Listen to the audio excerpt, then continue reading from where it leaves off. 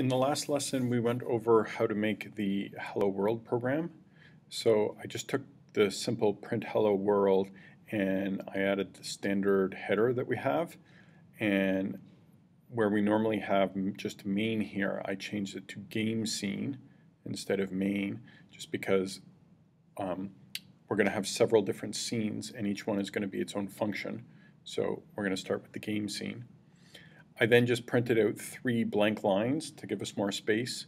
And I added this part here, which is going to become our gaming loop. Um, for now, it does nothing. Pass just means it, it stays in here and it just goes round and around forever and does nothing. So our PyBadge still just says hello world. That's fine, but it's sort of a, a nicer layout than we had before. Before we start, we also had the output from our PyBadge show up on our screen, but we're eventually today going to be putting images on our screen. So we'd like our terminal output not to just come here, but to also come somewhere else. To make that happen, we're going to add another Chrome extension. Just going to go here. And if you go to the landing page for CircuitPython tutorial and scroll all the way to the bottom, you can see we have two tools. This one is the Chrome text editor, if you prefer using that over um, using the web interface, you can use that. It actually um, color codes for Python, although it doesn't do IntelliSense. The other one is this program called Serial Monitor. And what it will do is capture what's happening on the terminal and print it back on our screen so that we can see it instead of showing up on the PyBadge. So we're just going to click there and we're going to add the Chrome extension. If you're on a Chromebook or you're on any computer that has Chrome, it's all the same. If you're on a Chromebook, it'll just show up in the list of your apps. On any other computer like mine on a Mac, if you just type in the URL chrome colon backslash backslash apps, you will get the list of your apps and you can select the text editor that I talked about, and now this serial monitor. So if we open that up, the serial monitor has to be connected and it needs to know what device to connect it on. So on a Mac, it's this one right here, this TTY USB modem. On a Chromebook, it probably, oddly enough, says ACME, A-C-M-E. And I'm not quite sure what it says on a Windows computer, but hopefully you can figure it out. The speed we're always going to connect with is just 9600 baud, and then we connect.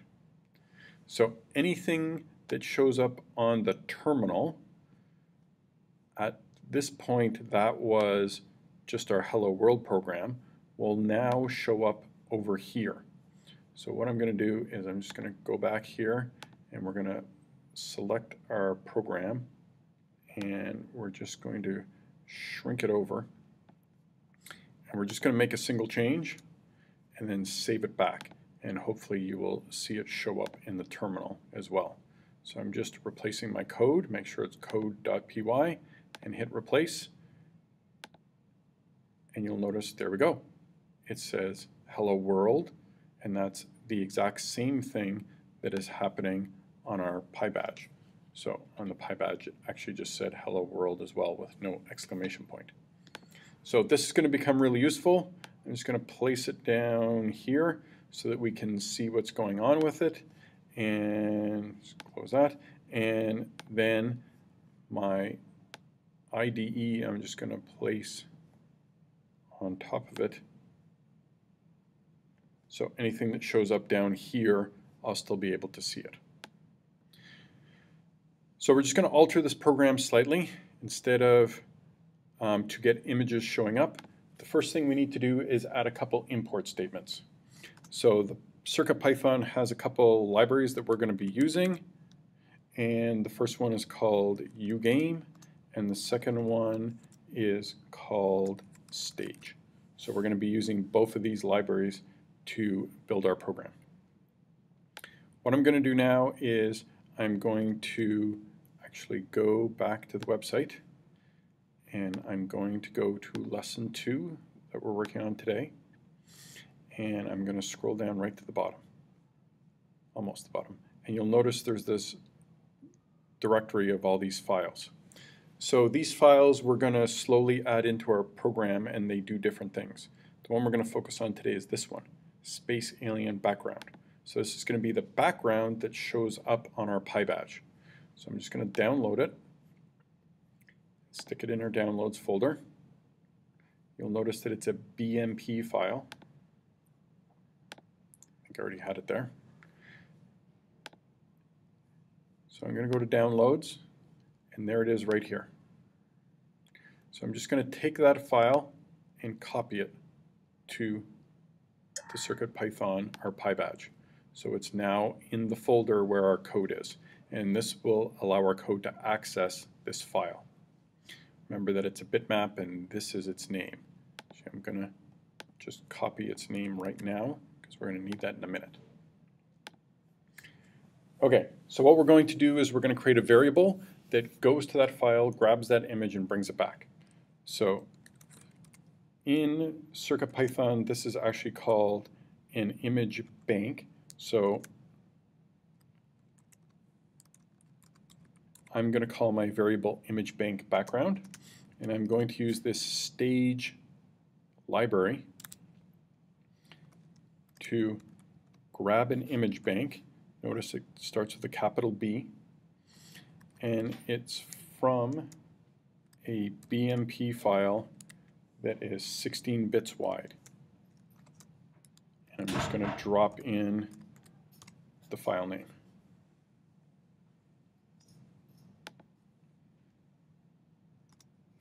So if we actually go and open up BMP file, that's what it looks like. And it's actually 16 pixels wide and each little image box, you'll see several of them, is 16 by 16, and there turns out that there's 16 of them in total. And that's the standard that it has to be for CircuitPython to be able to do this. We're then going to take, create another variable called background,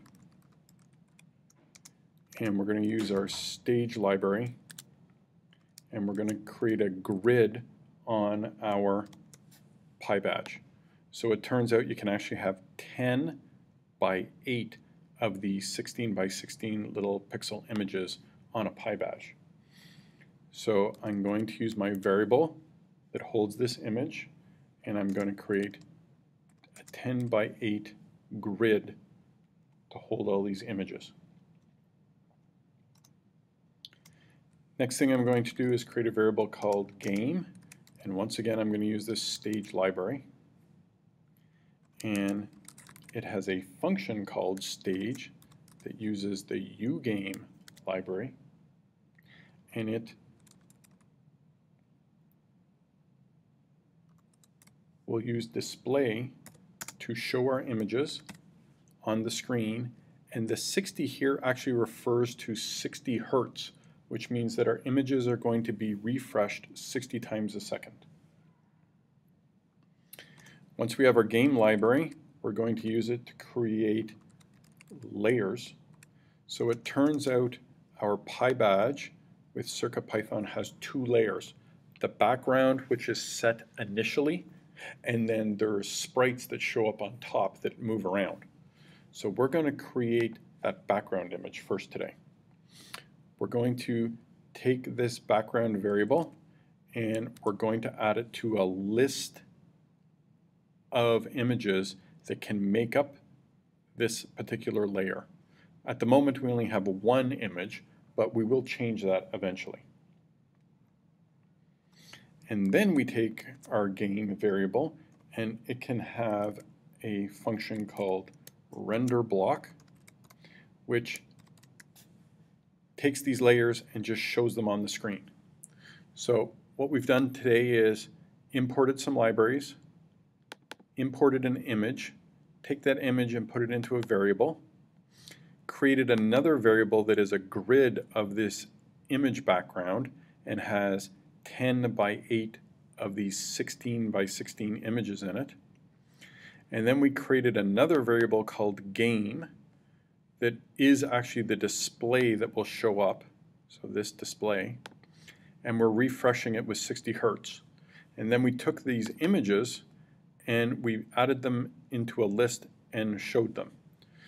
Because I didn't specify exactly which of those images in the list is going to show up, by default CircuitPython will just take the very first image and just reproduce it all across my screen for me. So just going to save this file.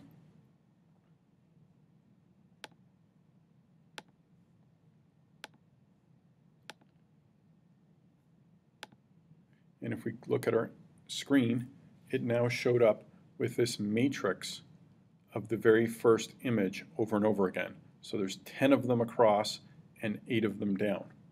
And it's a little star field, and that's the screen that we're going to use for the background. So